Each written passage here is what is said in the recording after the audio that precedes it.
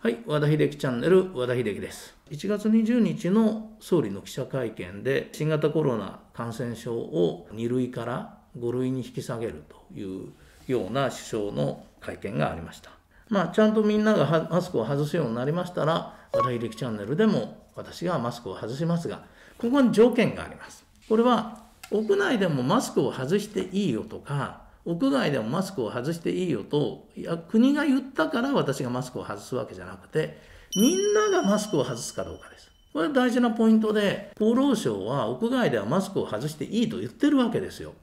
それでもみんなが外さない。それっておかしいよねって思ってもらうために私がマスクをしているわけで、私はみんながマスクを外すようになったら外しますが、マスクを外すのが普通なのに外さないやつの方が多い間は、残念ながら私もマスクをして、いかにそれがおかしくて不愉快か。やっぱり YouTube で私が話す時にマスクをしながら話している姿を見てると不愉快に思う方たくさんいると思うんですよ。だけど、それでもあえてマスクをするのは抗議の意味でありまして、こんなのおかしいよねということをみんなに理解してもらうためだというふうにご理解ください。ということで、遅すぎる気がしますが、2類から5類に下げられる、それめでたいことだろうし、屋内でもマスク外していいよということはめでたいことだと思います。しかしですね、いまだにテレビはそんなことしたら感染がめちゃくちゃ増えると、大騒ぎをしているわけですね。現実には、今だって感染はめちゃくちゃいると私は見ています。実は私は11月から年末にかけて諸事情があって PCR を3回受けてるんですけど、11月に一旦陽性になって、陰性になって、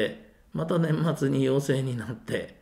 で陰性になってってことでその2回とも無症状でしたから事情がなければ全然調べてないですよね。調べたから分かったわけなんであって調べてなければ分かんないと。で中国だと大体8割ぐらいの人がコロナに感染していると言われているわけですから私は今だって日本に感染者は1割から2割はいると見ています。調べてないから分からないだけです。そして1割から2割感染がいるってことは、これは非常に厄介なことでして、今だったら交通事故で死のうがですね、癌で死のうが自殺で死のうが、コロナが検出されたらコロナで死んだことにされてしまいますからそういうふうに考えた時に人口の1割2割がコロナだった場合にですね亡くなった方の1割2割がコロナというふうな判定を受けちゃうわけですね毎年4000人死ぬってことは下手すると400人から800人の人がコロナが出ちゃうということになっちゃうわけです。今のコロナ死が1日400人出たとかって大騒ぎしてるのは全くナンセンスな話だと私は思ってます。2類から5類になったら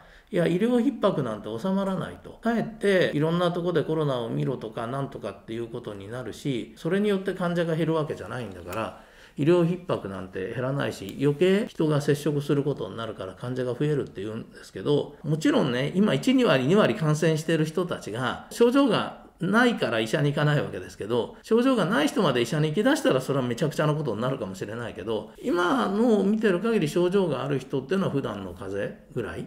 下手するとそれより少ないぐらいですからそれを考えた時にそれで医療逼迫が起こるとは思えないですね。今は2類ですから特定の準備をした病院でないと受けられないことになってるんですけど5類になると、えー、応召義務というものが生じますから患者さんを原則断れなくなります。あのあたかもまあ、埼玉医大の先生がテレビのワイドショーに出ていや5類になったところで医療逼迫なんか止まらないよとある医者だっていっぱいいるんだみたいなことを言ってますけどもこういう医師法を全く無視してる人が僕はテレビに出てるってことはおかしいと思いますよ。その大学の教授だったらどんな出任せだって言っていいわけではないですから本来断れないわけでただまあ現実に断る人は出てくると思いますよ。だけど断るのが当たり前みたいに法律があるのに言うそんなやつが医学部の教授しかもその医学部がちゃんと厚労省から補助金を十分もらってるわけですからそういうやつがそんな出任せを言っていいのかっていうことにはちょっと憤りも覚えましたし相変わらずテレビはネタがないせいなのか知らないけども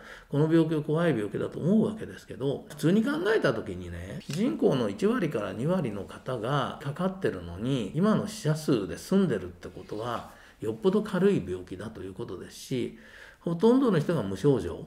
ということから考えたってよほど軽い病気なわけで私はね5類って言ったら一応インフルエンザと同じレベルなんですよ。でも今のコロナってはっきり言ってインフルエンザより弱いぐらいだと思いますよ。確かに高齢者で風邪をこじらしても亡くなるような方はコロナでも亡くなってますがところインフルエンザっていうのはもう本当になったら結構怖いですよ。私も今かかって10日間寝たくないと思います。普通に臨床をちゃんとやってる医者だったら、コロナとインフルエンザどっちかかりたくないって言ったら9割ぐらいはインフルエンザって答えると思いますよ。答えないとしたらその試合ですからやめましょう。ということで、2類から5類、もっと急いでほしいし、それどころか普通の人もみんなマスクをしない生活に早く戻ってほしいというふうに思います。和田秀樹チャンネル和田秀樹でした。